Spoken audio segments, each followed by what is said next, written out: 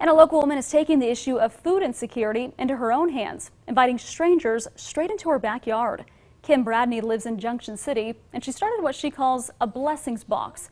Filled food, household products, and toiletries, all those kind of stuff in this box. Now people can bring donations by or just take what they need. She saw the need firsthand as she walked door to door registering people to vote last summer, and one of her neighbors asked if there was food involved in registering. She then realized he was eating sugar packets to survive.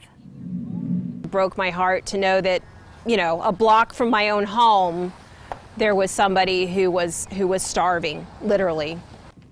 And we have more information on where you can locate this box and two others in Junction City on our website. Just go to ksnt.com and a blessing she is offering to the folks there.